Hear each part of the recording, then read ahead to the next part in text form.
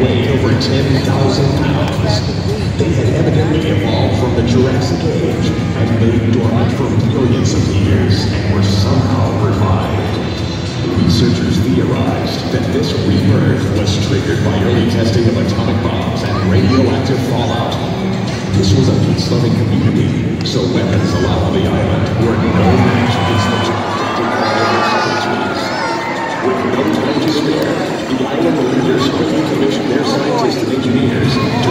solution to eliminate these deadly man-eaters.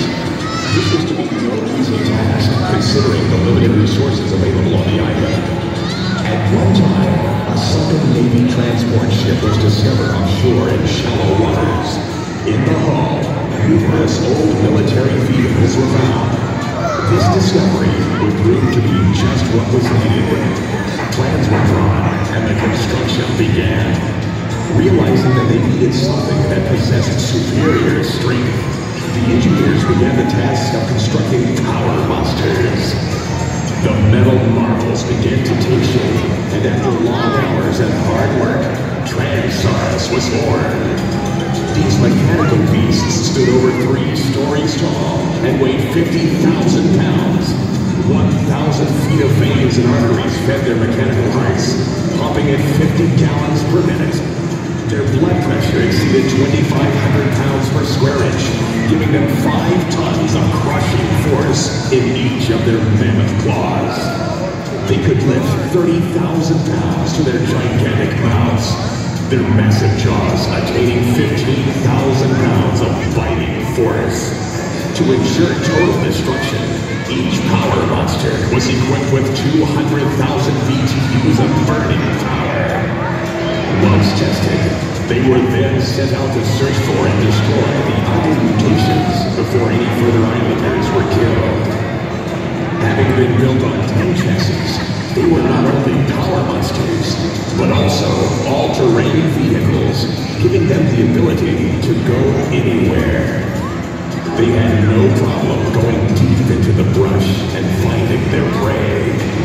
Once their enemy was discovered, they would transform